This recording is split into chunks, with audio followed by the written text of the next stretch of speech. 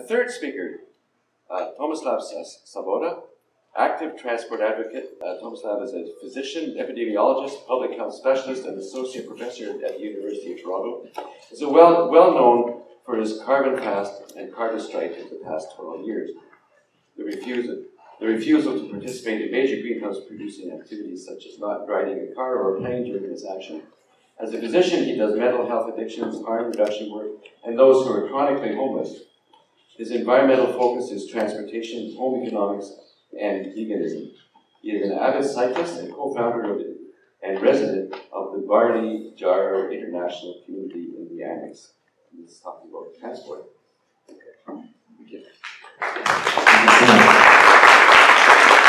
So um, I'm going to stand behind the podium here, and uh, I'm also going to have a little stopwatch here because I can also go on and on.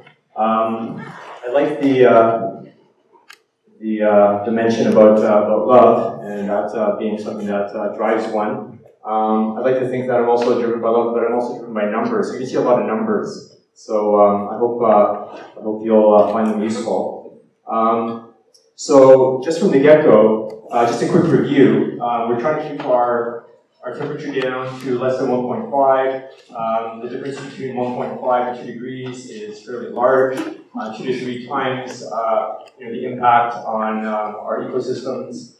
Um, in fact, at, at 2 degrees, you might expect 99% of our coral reefs to disappear uh, compared to maybe 70 to 90% at 1.5 degrees. Um, and so it's really important that we try to keep it down below 1.5. The, the whole drawdown is in this graph here, and this is uh, Greta, um, I think, being happy at uh, that drawdown.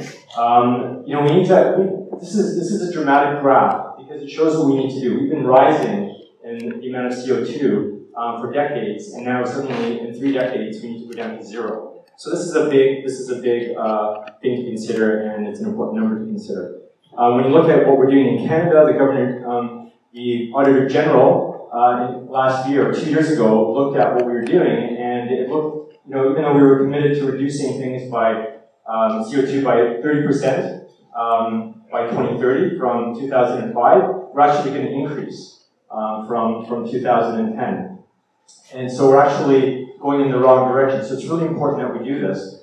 The exciting thing about drawdown is that it's peer reviewed science showing that we can actually do this. Um, but we need to we need to actually make some efforts, and hopefully in this presentation I'll, I'll uh, describe some of the actions that we can get engaged in.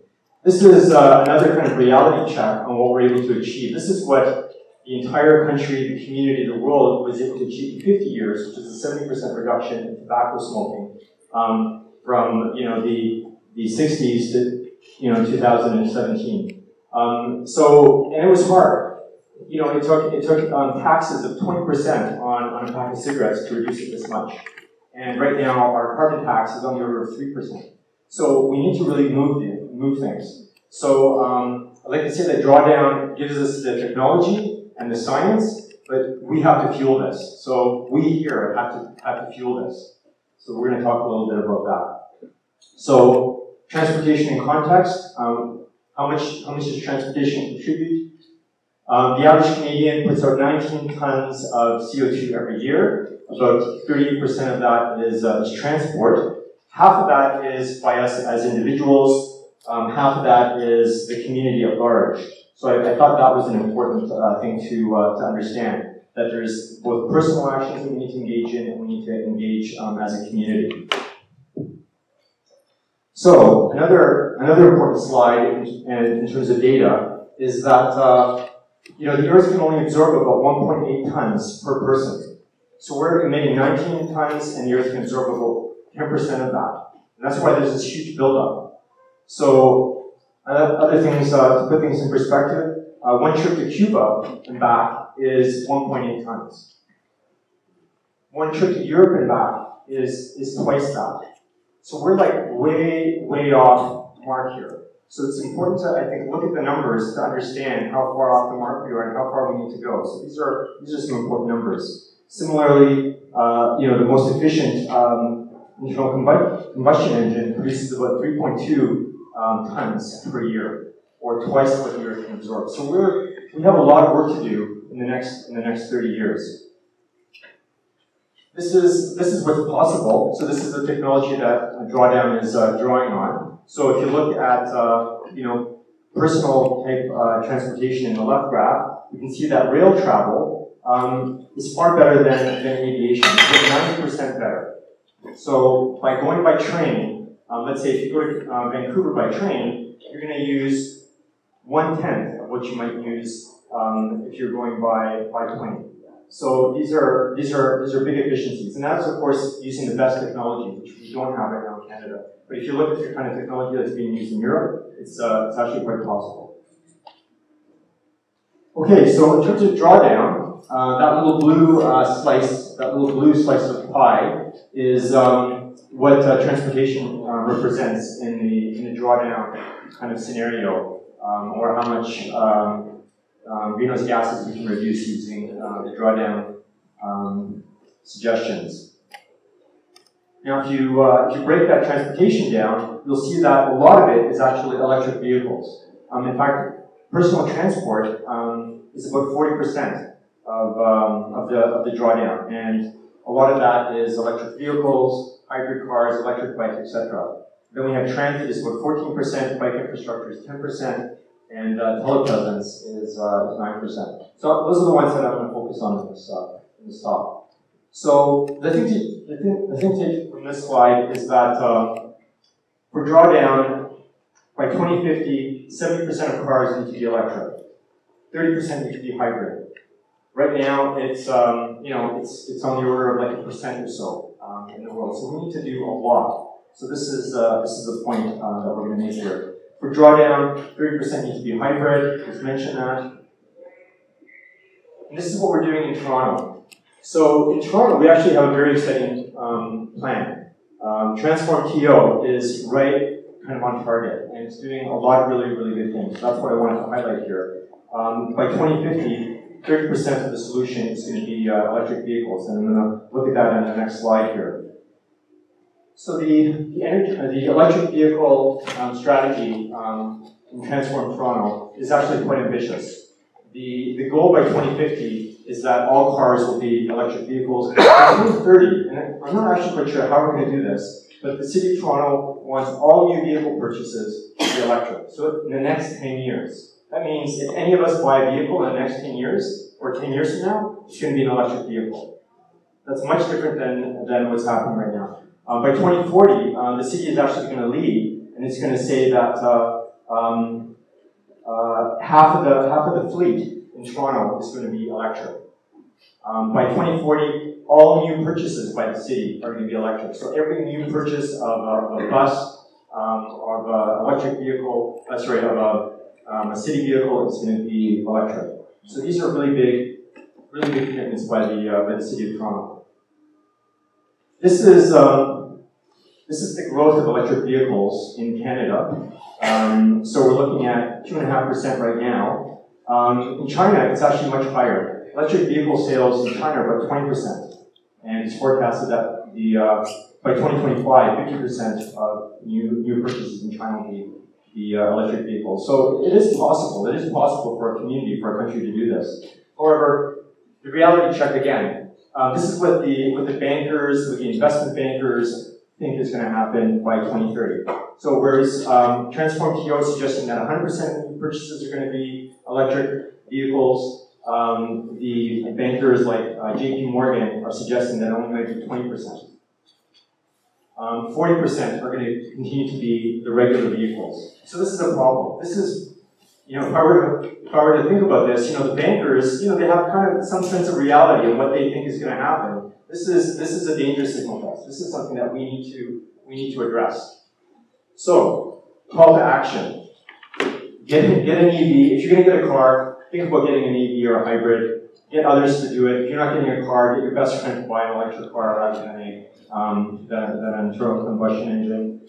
Um, the Electric Vehicle Society, there's a thousand members. If you've got an EV or you're thinking of getting an EV, consider joining them. David Suzuki Foundation, Greenpeace um, are all engaged in um, getting motivating people to use uh, electric vehicles. I put Transform TO and Climate Fast, who've been heavily involved with uh, the um, the transition in the city of Toronto. Um, Greenpeace here, the picture there is showing uh, 25,000 activists last week in Germany showing up at the um, motor, uh, motor conference and uh, basically standing on vehicles and saying, look, these are climate killers.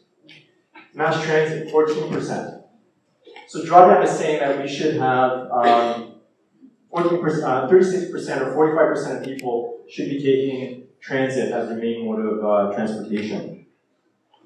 Right now it's 22% in Toronto. Um, the Transform TO um, plan isn't that, that great, I think, in this, in this perspective. They're only looking at 20, 23% mode share uh, by 2050, and I think we could be doing better than that. So that's somewhere where we can start being a little more um, kind of pushing our government a little more. Um, if you look at some other cities, uh, many cities are already have already achieved drawdown kind of level of um, um, transit use. If you look at uh, Bogota, uh, Budapest, Vienna, New York City, London, all of those are in the 30 to 40 percent That means 30 to 40 or even 60 percent of people use mass transit to get to work every day.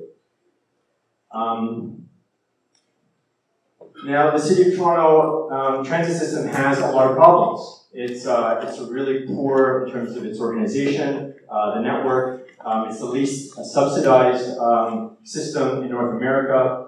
Um, it doesn't have a dedicated tax uh, to pay for it. So it's basically drawn from the global budget and it's not dedicated. So these are all things that have been identified by some of the transit activists that I'll encourage you to, uh, participate in.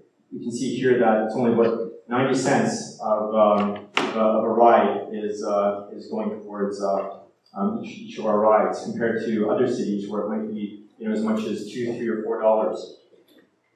Um, the, the operating budget is also the least per ride. It's about two bucks um, per ride in Toronto compared to uh, you know five, six, and eleven bucks per ride in other jurisdictions. So there's a lot of lot of room for action. So we need to act.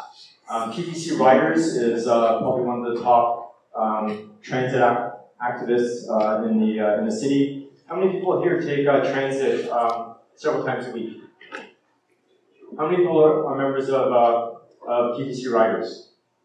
Okay, so we have a lot of uh, a lot of people who can join TTC Riders. I highly encourage it. Also, David Suzuki Foundation, Greenpeace, Toronto Environmental Alliance, again, Climate Fast, all engaged in the uh, stuff. Now, ride sharing, Drawdown suggests that 20% of, uh, of car commutes should be shared, um, 20 to 30%. Right now in Toronto, it's about 11%. The average in Canada is about 16% or 12%, 16% in the cities. Ottawa has 20%. 20% of, of rides in Ottawa are actually shared, which is interesting. This slide is interesting because um, different from drawdown, it actually suggests that uh, that sharing could actually further reduce the, the amount of um, uh, greenhouse gases that are produced by uh, transportation. Um, in fact, another 60% reduction. And these are these are people that have done this research in uh, University of California, Davis. Again, is peer-reviewed research suggesting sharing could actually increase things by a lot more. So what can we do? There's a lot of there's a lot of apps now that we can get. I'm not, not familiar with these apps. Uh, you know, kids are actually using these apps there's, uh, there's carpooling options in Uber and Lyft. Um, the problem with, with some of these is that it may draw people away from transit and into cars onto the road and increase congestion. So we need to think of, um, and what the researchers are saying is that the, the carpooling needs to draw people out of their cars and sharing cars, but not out of transit. And that's, that's a big danger of the technology.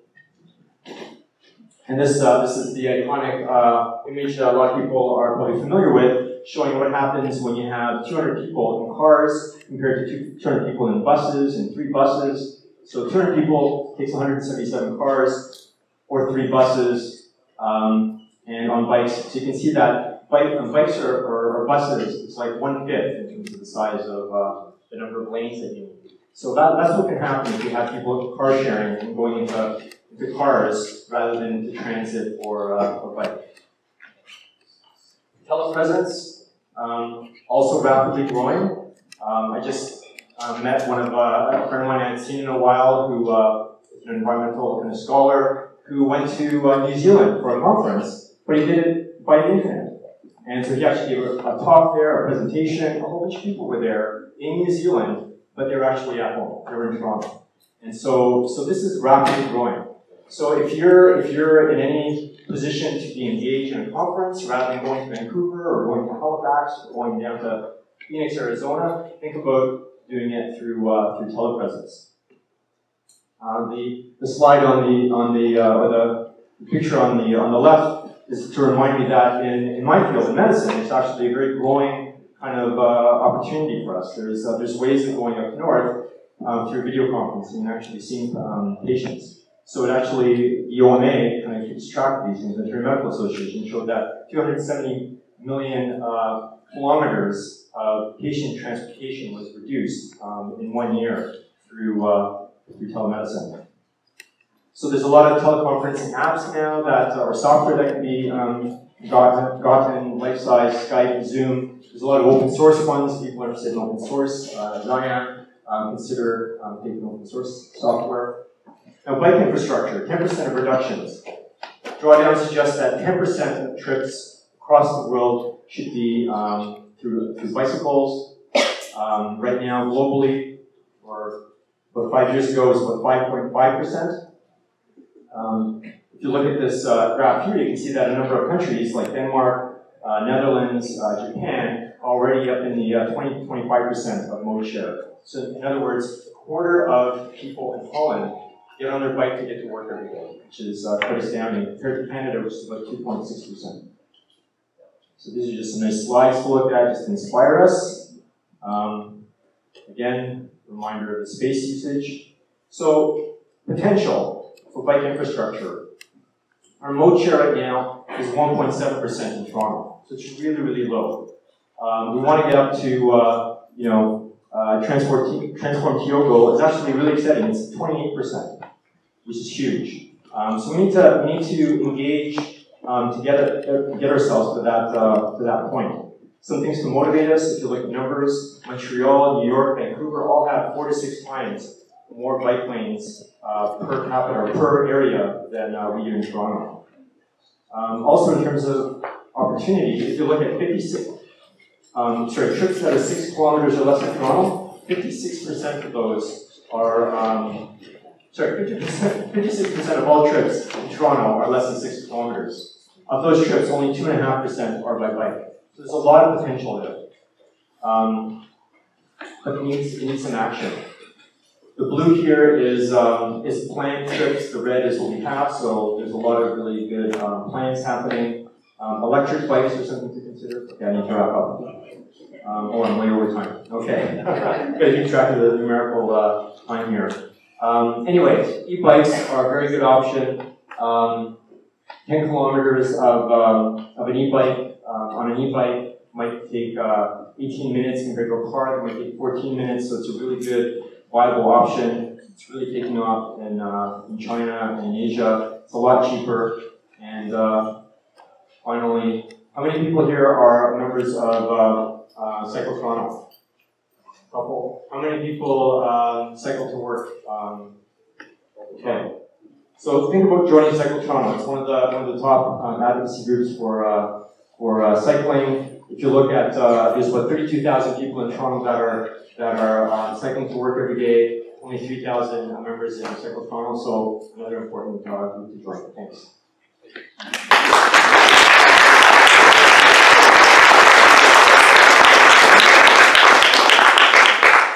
So, uh, it's clear Toronto needs to work on its transit, as we all know.